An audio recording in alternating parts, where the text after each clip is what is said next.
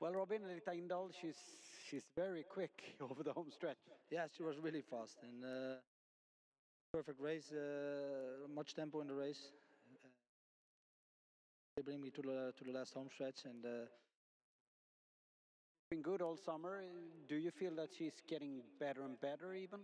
yeah, she feels strong. And uh, I see her now, and and, and the first two starts uh, progress, and that she Coming into the home stretch, how sure were you that you were going to win? are really. Will you win anything more today, do you think? Uh, I hope that I stay here one more again. Two horses more left. Win so far. It's a good evening. That's good. There's shit for the two years old, but uh, the other two horses was uh, Bench. Congratulations. tak tak.